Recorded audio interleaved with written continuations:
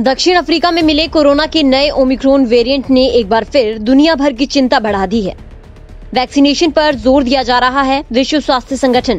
पहले ही चेता चुका है कि जब तक दुनिया की ज़्यादातर आबादी वैक्सीनेट नहीं होगी, तब तक संक्रमण का खतरा बना रहेगा।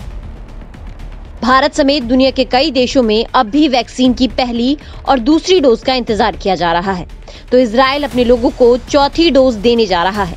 इसराइल दुनिया का पहला देश था जिसने अपने नागरिकों को सबसे पहले कोरोना के खिलाफ वैक्सीन की बूस्टर डोज दी थी। और अब वैक्सीन की चौथी डोज की तैयारी भी हो रही है। इसी के साथ इसराइल दुनिया का पहला देश बन जाएगा, जहाँ चौथी डोज लगाई जाएगी। इसराइल के प्रधानमंत्री नफ्ताली बेनेट ने चौथी डोज लगाने का ऐलान किया है। उन्होंने मंगलवार को इस बारे में जानकारी देते हुए बताया कि चौथी डोज अभी 60 साल से ऊपर के बुज़ुर्गों और गंभीर बीमारियों से जूझ रहे लोगों को लगाई जाएगी।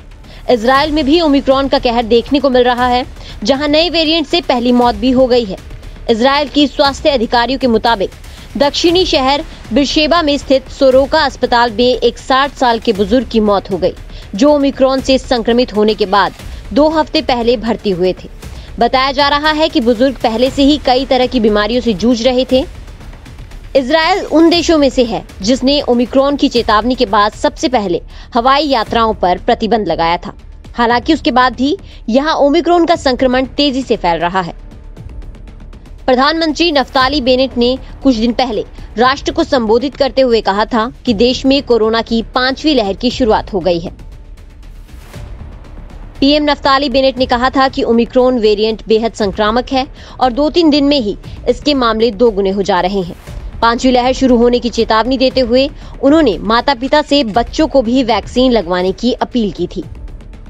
इसराइल ने पिछले महीने पाँच से बारह साल के बच्चों का भी वैक्सीनेशन शुरू कर दिया है, लेकिन अब भी लोग बच्चों को वैक्सीन लगवाने से डर रहे हैं।